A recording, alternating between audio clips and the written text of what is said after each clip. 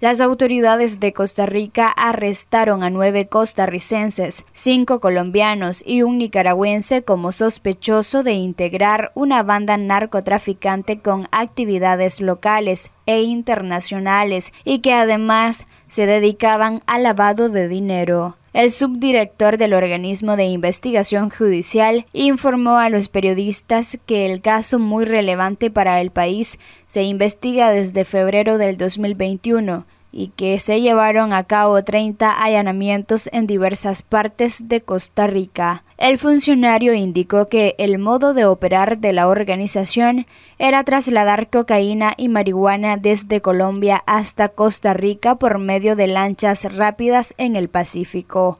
La droga llegaba a la costa de Costa Rica y de ahí era trasladada hacia la capital San José, desde donde la marihuana era repartida por el mercado local y la cocaína era enviada hacia países del norte de América o Europa. La operación permitió el arresto de cinco colombianos de apellidos Estupillán Montaño, Montaño Montaño, Collazos Valencia, Alegría Martínez y Hernández Riascos, así como un nicaragüense de apellido Hernández Ortez, y los costarricenses Bermúdez Montenegro, Bermúdez Araya, Castillo Simón, Segura Duarte, Camacho Valverde, Bermúdez Montenegro, Campos Porras, Ballastero Vega y Cantillo Granados.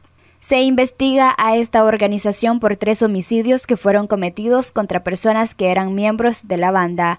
La operación sigue en curso y entre los objetivos de las autoridades está el decomiso o inmovilización de bienes como vehículos, propiedades, dinero o sociedades anónimas.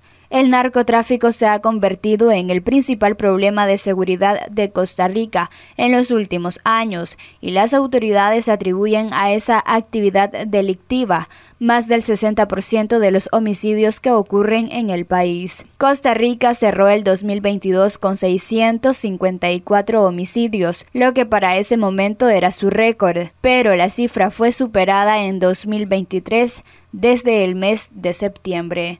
Hasta el 24 de noviembre, el organismo de investigación judicial contabiliza 826 homicidios, un 44.4% más que los 572 registrados a esa misma fecha del 2022.